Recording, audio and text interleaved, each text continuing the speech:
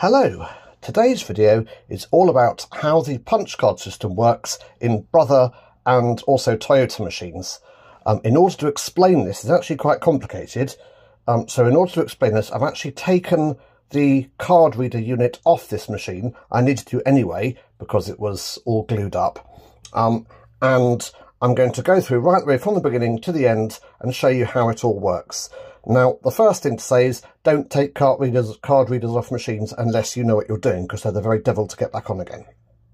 However, right, this is the card reader. It holds the card, and I'll show you one thing straight away, which is that there is a little mechanism here that every time I change direction, it moves the card on by one. So every time I go anti-clockwise, it moves it on by one. When I go clockwise, it moves it on by one. You can see the little card reader there moving it on by one. Um, that is the act of changing direction on the carriage. The carriage drives this wheel via a belt, which we'll look at later. And that mechanism is quite cool. Oops, it's down here. Oops, dropped dropped a bit. I'll pick it up in a minute. Like that. Okay. So that's the first thing to look at. Uh, for the next bit, I'm going to put a card in and we'll see what it does. Right, so for this next bit, we have to pay attention to these, oop, these little pieces of metal here, which you can see poking up. They are in fact U-shaped pins. If I turn it, oh, it's very difficult to see, but um, if I turn it to the end, you can see it's a U-shaped pin. You've got one end comes up at the front and one end comes up at the back. And if you have a look at the back, can you see above here, you can see the pins poking out. And when I change direction, you can see that the pins are pulled down, the card advances, and then the pins go back up again. And if there is a hole in the card at the back, the pins can go all the way up through the hole and sit up slightly higher. And if there's not a hole in the card, then the pins sit slightly lower. Okay, so that's our first piece of information, which is that we've got some pins that are sitting higher and some pins that are sitting lower, and that's the beginning of our pattern.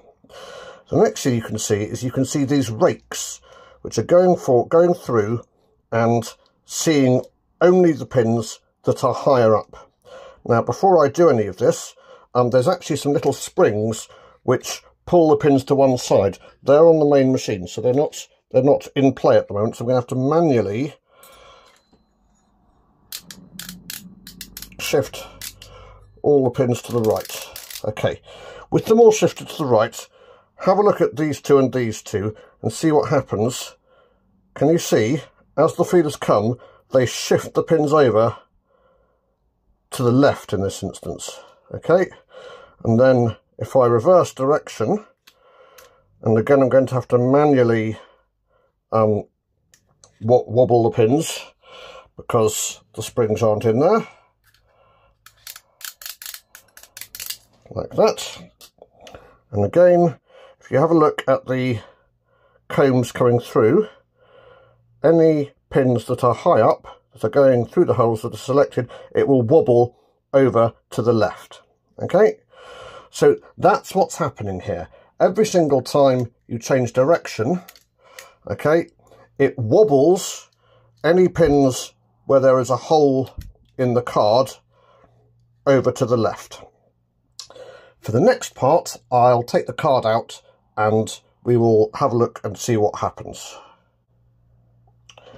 Right then, now, sitting in the pins are 24 of these wobblers, as you might call them.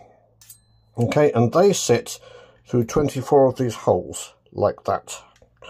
And if I turn this around and you see, you can see they sit up against this, the, the, all the pins. There's 24 of them sitting up against those little U-shaped sort of staples. So if I if I wobble it like that, I'm actually, oh, I've got this in the wrong place. Hold on. Better. Right. Okay. Now, have a look and see what happens as I rotate. Can you see that as I rotate, the wobbling of the pins pushes the feeler pin, which my thumb is on, fractionally over to one side. Okay, so what you can see is there's 24 of these pins, and every time the combs go past, which represents 24 stitches, um, it's any of the pins which are not poking up through holes in the card, it will wobble to one side. And any of the pins which are poking up through a hole in the card, sorry, which aren't picking up through a hole in the card, it will miss and not wobble over to one side.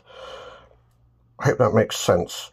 So what we've got is a comb which is going past lots and lots of these pins and any of them that are selected, it is fractionally moving the pin over to one side, only for a brief moment, and it does that over and over again every 24 stitches as it goes along the bed of the machine. Next part. I told you this was complicated. These little pins here, which one end sticks into the card reader, which is now above and behind us, and the other end goes into these holes, 24 of them. Okay, so we know that every time it wobbles it, it moves whatever's behind here. And depending on what hole it is, it moves a different part of whatever's behind here. So let's have a look at what's behind here. What's behind here is eight long strips of metal that run the entire length of the bed. Excuse me. So, that can affect every single needle on the bed. Okay, so now all we need to do is work out what these eight strips do. By the way, there's only eight strips, so it means that um, when you're moving it along, the first eight wobblers operate the eight strips, the next eight wobblers operate the eight strips again, but the carriage has moved on to different needles, and again for the last eight, operate the eight strips again, but the carriage has moved on to different needles. And let's have a look at what the strips actually do. Now this is difficult to see, but if you have a look in here, you should be able to see that down there, the strips have got tiny little sort of hooks that reach up. Let me operate it and you should be able to see. So can you see there is every eight needles there is a hook that is moving to the side. Okay, if I move on to the next one, it's a different one. Okay, and as I go through, it moves a different one to the side each time. And don't forget, the only ones that are being moved to the side are the ones that have been selected at any given time. Okay, so the next thing we need to do is to work out what it is that these hooks do. Well, it's reasonably simple, actually.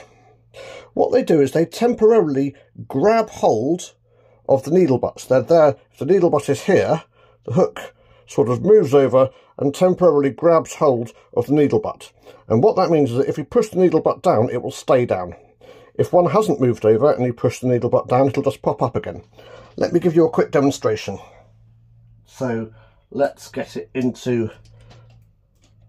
Okay, so if I push it over to one side and then push loads of these needles down,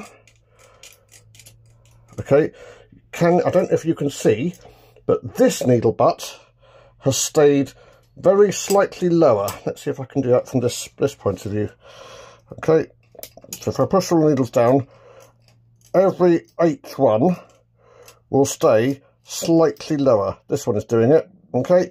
And then when I let go, it pops back up again. If I select it, it goes down. If I let go, it pops back up again. Which may seem, so what?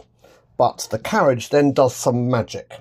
Now, in order to show you the magic that the carriage does, I'm going to have to put this machine back together again, um, and therefore I will come back in a bit once this is all working.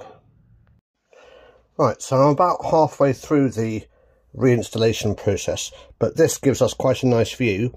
If you look, these little sort of U-shaped pieces of wire are the feelers that go up into the punch card. We're looking at the bottom of the punch card reader now. These black rods are the ones that I demonstrated that would um, jiggle these strips and if because there's not a punch card in, in, in there in a minute it'll select all of them so if I turn can you see every single one of these is being jiggled okay and every single one of these is moving backwards and forwards in turn to grab the needles. Just thought I'd show you that before I finish completely reassembling the machine. Okay, so we've reached the point where we've got punch cards which um, select specific needles that will be held down, held down if they're pushed down, they'll latch down if they're pushed down as the carriage passes by. So the next thing to say is that the carriage is powering this whole thing through a belt. You can see the belt moving at the back. Okay. And then the final thing to say is why does pushing them down select them? And that comes in uh, this part here. Okay. So I don't know if you can see, but it's a sort of um, hump in the road. So as the needle moves along here, it gets pushed down by this hump. Okay. And if it just pops straight back up again, then what happens is it hits this gate and gets pushed backwards. But this gate isn't very high, so if it holds back a bit, if it's if it's pushed down and stays down, then it skips over this gate and it hits this one instead and gets pushed back. And the overall effect is that you can, in fact, select needles. Now, it has to be said, this machine, I'm afraid, is is going to be dismantled um, and used for spares because um, the uh, on uh, freeing up the punch card I noticed it's completely worn out. So it actually doesn't reliably select needles anymore. But it does select some of them let's have a look and see. There you go and row by row needles are selected and you can knit patterns without having to do anything else. Look, there is a needle which has failed to be selected. Um, by the way, if anybody wants to rescue this machine, it is complete. It works beautifully as a plain machine. It's just not that reliable at patterning. Um, if anybody wants one of such machine, I would happily give it to them for free for the cost of them coming to get it or me sending it to them. Um, yeah, otherwise I'm afraid it's going to get stripped down. Thank you very much, and I'll see you next time. Bye-bye.